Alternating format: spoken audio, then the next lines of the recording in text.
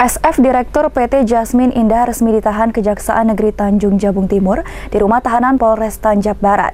Ia ditahan terkait dugaan penggelapan pajak dengan merugikan negara mencapai 6,5 miliar rupiah.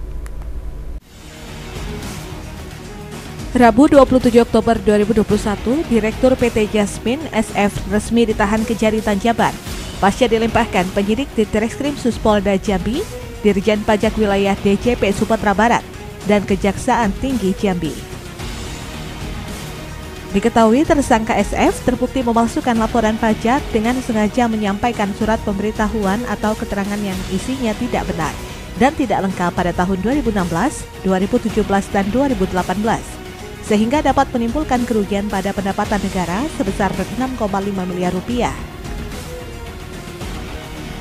Tersangka diduga melakukan tindak pidana sebagaimana diatur pada pasal 39 ayat 1 huruf D Undang-Undang Nomor 28 Tahun 2007 tentang perubahan ketiga atas Undang-Undang Nomor 6 Tahun 1983 tentang ketentuan umum dan tata cara perpajakan sebagaimana telah beberapa kali diubah terakhir dengan Undang-Undang Nomor 11 Tahun 2020 tentang Cipta Kerja.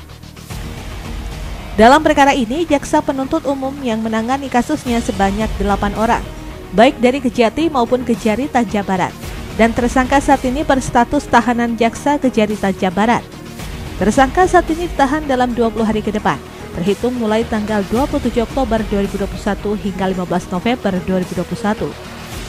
Iqbal, Cek TV melaporkan.